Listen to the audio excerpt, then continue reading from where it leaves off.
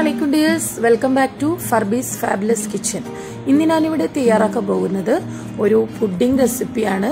വളരെ ടേസ്റ്റിയും സോഫ്റ്റിയും ആയിട്ടുള്ള ഒരു സോഫ്റ്റ് ആയിട്ടുള്ള ഒരു ഇളനീർ പുഡിംഗ് റെസിപ്പിയാണ് ഞാൻ ഇന്നിവിടെ കാണിക്കാൻ പോകുന്നത്.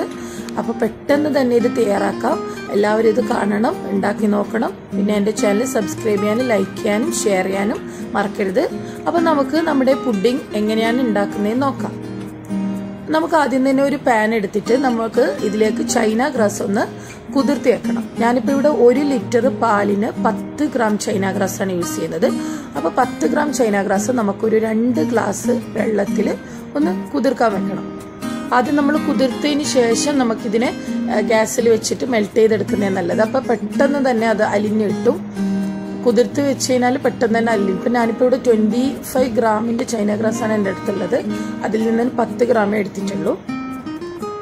അപ്പം നമുക്ക് പത്ത് ഗ്രാം ചൈന ഗ്രാസ് ഒന്ന് മുറിച്ചിട്ട് കറക്റ്റ് അളവ് പത്ത് ഗ്രാമിന് കുറച്ച് കൂടിയാലൊന്നും പ്രശ്നമില്ല. പക്ഷെ അധികം കൂടണ്ട. അപ്പം നല്ല കട്ടിയായിപ്പോൾ ഇപ്പം നമുക്കിപ്പോൾ ഇത് കറക്റ്റ് ആയിട്ടുള്ളൊരു സോഫ്റ്റ് ആയിട്ടുള്ള രീതിയിലാണ് കിട്ടിയിരിക്കുന്നത്. നല്ലൊരു ഐസ്ക്രീം ഒരു എന്താ പറയുക ഒരു നല്ല സോഫ്റ്റ് ആയിട്ടുള്ളൊരു ടേസ്റ്റി ആയിട്ടുള്ളൊരു പുഡിംഗ് എല്ലാവരും ട്രൈ ചെയ്ത് നോക്കണേ ഇത്. അപ്പൊ നമുക്കിതൊന്ന് കുതിർത്തി വെക്കാം. നമുക്ക് പെട്ടെന്ന് തന്നെ തയ്യാറാക്കാം. ഇളനീർ എന്ന് പറയുമ്പോൾ എല്ലാവർക്കും ഇഷ്ടമുള്ള ഒരു ഇളനീർ പുഡിംഗ് എന്ന് പറയുമ്പോൾ എല്ലാവർക്കും ഇഷ്ടപ്പെടുന്ന ഒരു പുഡിംഗ് ആണ്. ഇതാ നമ്മൾ ഞാനാണെങ്കിൽ കൂടുതൽ ഇങ്ങനെ ഇൻഗ്രീഡിയൻസ് ഒന്നും യൂസ് ചെയ്തിട്ടില്ല. നമുക്ക് പെട്ടെന്ന് തന്നെ തയ്യാറാക്കാം. ഇപ്പം ലോക്ക്ഡൗൺ ഒക്കെ ആയതുകൊണ്ട് ഇനി നമുക്ക് ഞാനിപ്പോൾ അത് കുതിർത്തി വെച്ചിട്ടുണ്ട്. ഇനി ഞാനൊരു ഒരു ലിറ്റർ പാൽ ഞാനൊരു പാനിലേക്ക് ഒഴിച്ച് വെച്ചിട്ടുണ്ട്. അതിനെ നമുക്ക് മാറ്റി വെക്കാം. ഇനി നമുക്ക് ആവശ്യമില്ലെന്ന് പറഞ്ഞു കഴിഞ്ഞാൽ ഞാൻ കുറച്ച് സാധനം ഒന്ന് മിക്സിയിൽ അടിച്ചെടുക്കുന്നുണ്ട്. ഇപ്പം ഇതിപ്പോൾ ഇളനീർ വെള്ളവും പിന്നെ ഇളനീരിന്റെ ചെറിയ പീസസ് ആണ്. ഇപ്പം നല്ല ഇളനീർ കിട്ടിയിട്ടില്ല. എന്നാലും കുഴപ്പമില്ലാത്ത പീസസ് ഉണ്ട്. എന്റെ അടുത്ത് ഞാനിപ്പോൾ എടുത്തിരിക്കുന്നത് പക്രീമാണ്. ഒരു പാക്കറ്റ് പക്രീമും അൽമറൈന്റെ ക്രീമോ അല്ലെങ്കിൽ പക്രീമോ യൂസ് ചെയ്താൽ മതി. പിന്നെ കുറച്ച് വാനില എസൻസ് ഒരു കപ്പ് പാൽ. തേങ്ങാപ്പാലോ അല്ലെങ്കിൽ പശുവും പാലോ നിങ്ങൾക്ക് യൂസ് ചെയ്യാം. ഞാനിപ്പോൾ ഇവിടെ തേങ്ങാപ്പാലാണ് യൂസ് ചെയ്തിട്ടുള്ളത്. ഈ ഒരു അളവിൽ ഗ്ലാസ്സിൽ ഞാനിപ്പോൾ തേങ്ങാ പാൽ പശുവും പാൽ ഒഴിച്ചു കൊടുത്തിട്ടുണ്ട്. അതിലേക്ക് കുറച്ച് നമ്മുടെ ഇളനീരിന്റെ കാമ്പും കൂടി ഇട്ട് കൊടുക്കാം. പിന്നെ അതിലേക്ക് ഞാൻ ചേർക്കുന്നത് ക്രീമാണ് നിങ്ങളുടെ കയ്യിൽ വിപ്പിംഗ് ക്രീം ഉണ്ടെങ്കിൽ വിപ്പിംഗ് ക്രീം ചേർത്ത് കൊടുക്കാം. അപ്പോൾ നിങ്ങൾക്ക് ഇഷ്ടമുള്ള ആ ഒരു ക്വാണ്ടിറ്റിയിൽ ചേർത്ത് കൊടുക്കാം. ഞാൻ ഈ ഒരു പാക്കറ്റാണ് ചേർത്ത് കൊടുത്തത്. ഈ ഒരു പാക്കറ്റ് ഫുൾ ചേർത്ത് കൊടുത്തിട്ടുണ്ട്. നല്ലൊരു ടേസ്റ്റ് ആയിട്ടുള്ള നല്ലൊരു ഫ്ലേവർ ലഭിക്കും. വാനില എസൻസ് നമുക്കിപ്പം ചേർത്ത് കൊടുക്കണ്ട. നമുക്കിതിനെ നല്ല പോലെ ഒന്ന് മിക്സിയിലൊന്ന് അടിച്ചെടുക്കണം. ഞാനിപ്പോൾ അടിച്ചെടുത്തതിന് ശേഷം ഞാൻ അതിലേക്ക് ഒരു ഗ്ലാസ് ഇളനീർ വെള്ളം കൂടി ചേർത്ത് കൊടുക്കുന്നുണ്ട്. ഇനി അതും കൂടി നല്ലപോലെ മിക്സിയിൽ അടിക്കുക. ഇപ്പം ഞാൻ അതും കൂടി അടിച്ചെടുത്തിട്ടുണ്ട്. അടിക്കുന്നത് ഞാൻ കാണിക്കാതിരുന്നതാണ്. ഇപ്പം രണ്ടും അടിച്ചെടുത്തതിന് നമുക്ക് പാലൊന്ന് തിളപ്പിക്കാൻ വെക്കാം. ഞാൻ നേരത്തെ ഒരു ലിറ്റർ പാൽ ഒരു പാനിലേക്ക് മാറ്റി വെച്ചിട്ടുണ്ട്. അത് നല്ലപോലെ ഒന്ന് തിളപ്പിച്ചതിന് ശേഷം അതിലേക്ക് ആവശ്യത്തിന് കണ്ടൻസ്ഡ് മിൽക്ക് ഒഴിച്ചു കൊടുക്കാം. ഞാനിപ്പോൾ ഇതൊരു ഒരു ടിന്ന് ഒന്നര ടിന്നോളം ഞാനിപ്പോൾ യൂസ് ചെയ്തിട്ടുണ്ട്. നിങ്ങൾക്ക് മധുരം എത്ര വേണ്ട അതിനനുസരിച്ച് ചേർത്ത് കൊടുക്കാം. കാരണം ഇപ്പോൾ പാലിൽ നമ്മൾ കുറച്ചധികം കണ്ടൻസ് മിൽക്ക് ചേർത്ത് കൊടുക്കണം. കാരണം ഞാൻ അരച്ച ആ ഒരു കൂട്ടും കൂടി ഇതിലേക്ക് കുറച്ച് കഴിഞ്ഞാൽ ചേർത്ത് കൊടുക്കും. ഇനി നമുക്ക് കുറച്ച് ഒരു ടീസ്പൂൺ വാനില എസൻസും കൂടി ഇതിലേക്ക് ചേർത്ത് കൊടുക്കാം. ഇനി നല്ലപോലെ ഒന്ന് ഇളക്കിയെടുക്കാം. പാലൊക്കെ നല്ലപോലെ തിളച്ച് വന്നിട്ടുണ്ട്.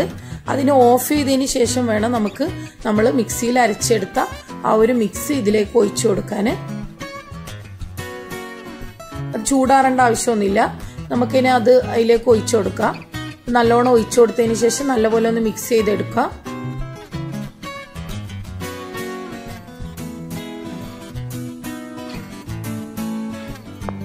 ഇനി നമുക്ക് നമ്മളെ ചൈന ഗ്രാസ് മെൽറ്റ് ചെയ്യാൻ വേണ്ടി വെക്കാം. അപ്പം ഞാനിപ്പോൾ ആ വെള്ളത്തിൽ തന്നെ നല്ലപോലെ ഒന്ന് മെൽറ്റ് ചെയ്തെടുക്കുന്ന കൈ എടുക്കാതെ ഒന്ന് ഇളക്കിയിട്ട് വേണം ചൈന ഗ്രാസിനെ ഒന്ന് ഉരുക്കിയിട്ട് എടുക്കാൻ വേണ്ടിയിട്ട്. പിന്നെ നമ്മൾ ചൈന ഗ്രാസ് ഒക്കെ ഇവിടെ നല്ലപോലെ മെൽറ്റായി വന്നിട്ടുണ്ട്. ഇനി ഇതിനെ നമുക്ക് ഒന്ന് മാറ്റി വെക്കാം. ചൂടാറേണ്ട ആവശ്യമൊന്നുമില്ല. ഇനി നമുക്ക് നമ്മൾ തിളപ്പിച്ച പാൽ ഒരു ചെമ്പിലേക്കൊന്ന് മാറ്റി കൊടുക്കാം. ഒരു പാനിലേക്ക് മാറ്റി കൊടുത്തതിന് ശേഷം അതിലേക്കാണ് നമ്മൾ ഈ ചൈന ഗ്രാസ് ഒഴിച്ചു കൊടുക്കേണ്ടത്. ചൂടാറുന്നതിന് മുമ്പേ നമ്മൾ സെറ്റ് ചെയ്യേണ്ട ആ ഒരു ബൗളിലേക്ക് നമ്മൾ ഈ പുഡിങ്ങിന്റെ കൂട്ട് ഒഴിച്ച് കൊടുക്കേണ്ടതാണ്. ഇപ്പം ഞാനിപ്പോൾ ചൈന ഗ്രാസ് ഒഴിച്ചു കൊടുത്തിട്ടുണ്ട്. നല്ലപോലെ ഒന്ന് മിക്സ് ചെയ്തെടുത്തതിന് ശേഷം ഈ പുഡിംഗ് ബൗളിലേക്ക് നമുക്ക് ഇതിനെ ഒന്ന് മാറ്റി കൊടുക്കാം. ചൂടാറുന്നതിന് മുമ്പേ മാറ്റി കൊടുക്കണം. കാരണം ചൈന ഗ്രാസ് ഫ്രിഡ്ജിൽ വെക്കുന്നതിന് മുമ്പേ സെറ്റാവും. നമ്മൾ ആവശ്യത്തിനുള്ളത് ഒഴിച്ചു കൊടുത്തിട്ട് നമുക്കിനി ഇതിലേക്ക് നിങ്ങൾക്ക് വേണമെങ്കിൽ ഇതിലേക്ക് ബദാം ഒക്കെ പൊടിച്ചിട്ട് ചേർത്ത് കൊടുക്കാം. ബദാം ചെറിയ ചെറിയ പീസാക്കിയിട്ട് ഇട്ട് കൊടുക്കാം. നട്ട്സും ഒക്കെ ചേർത്ത് കൊടുക്കാം. ഞാനിപ്പോൾ ഇവിടെ നമ്മൾ കറക്റ്റ് ഒരു ഇതിന്റെ ടേസ്റ്റ് മാത്രം എന്താ പറയുക നമ്മളെ ഇളനീരിന്റെ ടേസ്റ്റ് കിട്ടാൻ വേണ്ടിയിട്ട് ഞാൻ ഇളനീരിന്റെ കുറച്ച് പീസസിനല്ല കുറച്ച് പീസസ് കുറവാണ്. ഇപ്പം നമുക്ക് കുറച്ച് പീസസ് ആയിട്ടെങ്കിലും കുറച്ച് അത്യാവശ്യത്തിനുള്ള പീസസ് ഒക്കെ ഉണ്ട്. നിങ്ങളടുത്ത് കൂടുതലുണ്ടെങ്കിൽ കൂടുതൽ ചേർക്കാം. അതും കൂടി നല്ലോണം ചേർത്തെടുത്തിട്ട് നമുക്ക് ഫ്രിഡ്ജിലേക്ക് സെറ്റ് ആവാൻ വെക്കാം.